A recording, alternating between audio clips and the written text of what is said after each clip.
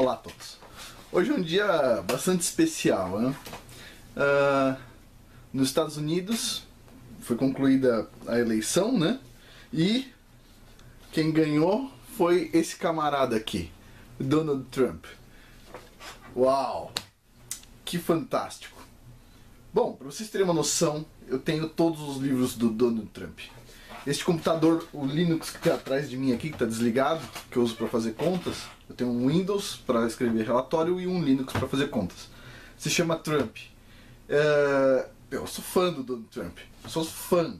Agora, meu, o cara resolveu encarar uma elite que controla um sistema muito bem arquitetado e ganhou. Uau! Nossa!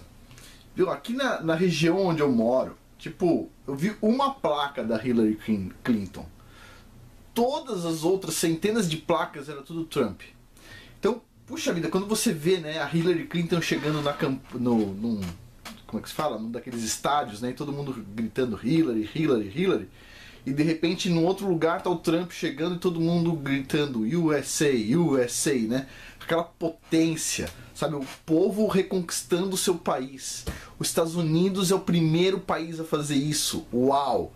Com esse cara aqui. Imagina só que coisa linda. Que coisa linda. Imagina só. Nós tivemos no Brasil uh, anteriormente, agora a gente tem um advogado, não é isso? Um advogado. O pessoal chama de mordomo, né? Uh, antes do mordomo tinha a Dilma que faliu uma loja de 1,99. Antes da loja de 1,99 a gente teve o, o torneiro mecânico que perdeu os dedos no torno mecânico, não é isso? Uh, super competência, né? E agora, de repente, puxa, aqui nos Estados Unidos o que, que tem? Os caras conseguiram eleger um bilionário, um cara que tem mais de 400 empresas. O pessoal fica reclamando que ele quebrou três empresas. É menos de 1%, taxa de erro de 1% cara fenomenal, Donald Trump. E o cara resolveu encarar a elite inteira e o povo apoiou, o povo assinou embaixo. Isso que foi maravilhoso. Ou seja, quando o povo está acordado, o povo pode sim reconquistar seu país. E é impressionante, é impressionante. Uh, é, Para mim é uma satisfação. O, o, primeiro presidente com quem ele vai falar vai ser o, o primeiro-ministro de Israel. Que coisa linda! Poxa, que que forma de começar com o pé direito. Eu sei que Israel tem lá seus problemas, mas puxa vida, é uma demonstração de puxa, né, de que dá atenção à fé das pessoas. É, eu vi agora há pouco uma, uma reportagem na, na Globo, a, uma repórter falando assim: será que isso é. O pessoal está se tornando mais intolerante? E a resposta é sim. O povo está se tornando cada vez mais intolerante. Intolerante à injustiça intolerante à mentira, intolerante à desonestidade dessas pessoas todas que controlam o mundo. E é isso que o, o Donald Trump mostra.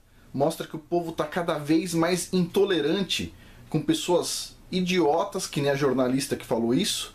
Falou inclusive, oh, nossa, parece que o povo está querendo voltar às origens da família. Oh, que mal, que pesadelo. Sim, o povo está querendo reconquistar as preciosidades, as pedras preciosas que roubaram dele.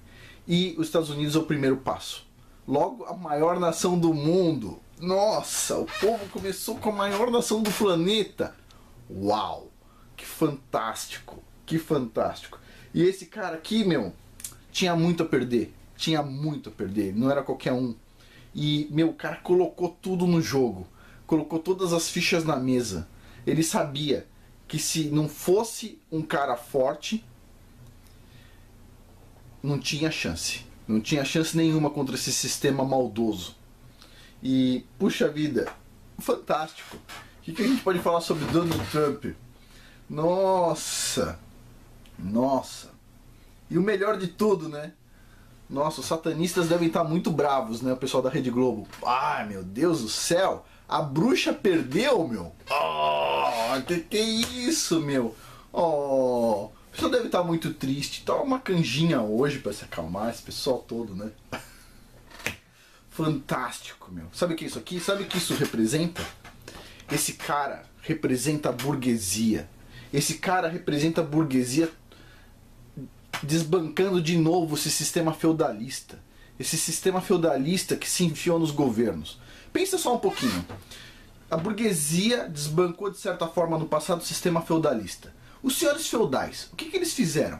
Eles não conseguiam concorrer com os burgueses, eles não tinham aptidão para negócios nem nada. Vocês acham que eles se enfiaram aonde? Aonde? Será? Quem será que tinha dinheiro suficiente e não tinha habilidade para nada, mas tinha dinheiro suficiente para se tornar governante? Na época era provavelmente muito desses antigos senhores feudais, que a gente vê até hoje, né? Aqueles senhorzinhos que a gente sabe da política, né? Que nunca saem do poder e sempre passa de uma geração para outra a vida toda, né? Então, isso aqui é a burguesia. A burguesia que representa o povo de verdade. Não existe proletariado, existe burgueses, os líderes, que nem este cara aqui, e os burgueses que trabalham junto com, com, com esses líderes. Quando a gente fala o seguinte, existe um exército, existe o general, existe vários soldados abaixo, capitães e tudo, tudo mais, não é isso? Aí de repente vem Marx e fala o seguinte: não, soldados não são mais soldados, eles são agora outra classe. São os proletariados. São todos, somos todos do mesmo exército.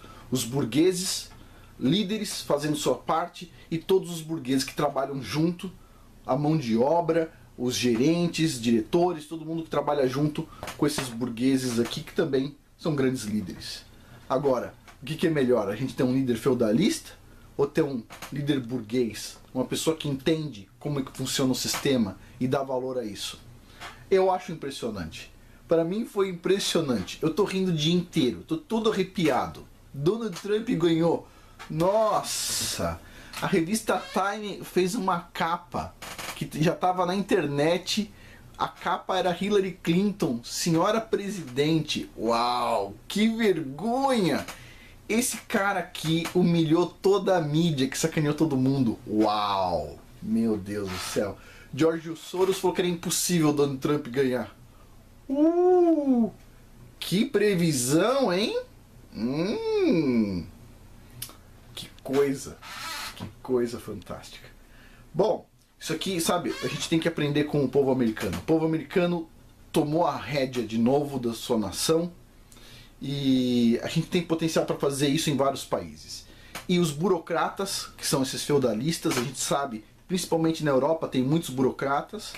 Esses burocratas estão agora, acho que no pinico, tendo desinteria. Porque se o povo acordar, e o povo tem potencial para acordar, a gente tem condições de exigir, como diz o Donald Trump, o melhor. O melhor para cada área nossa não é isso? O presidente tem que. A gente tem que escolher entre um cara com, puxa, um histórico bem. bem esquisito como o Aécio, ou tem que escolher entre ele ou a mulher que falhou a loja de 1,99? Ou será que a gente deveria exigir que tivesse uma cota? Cota para excelência. Olha, pelo menos 10% dos candidatos tem que ser excelentes. E como é que se define isso? Sei lá, a gente monta uma tabela, alguma coisa mas tinha que ter uma cota para excelência, não para mediocridade, não é verdade? Puxa, que fascinante, que fascinante. Bom, por hoje é isso, é só para expressar a minha alegria. Donald Trump, hã? fantástico, impressionante.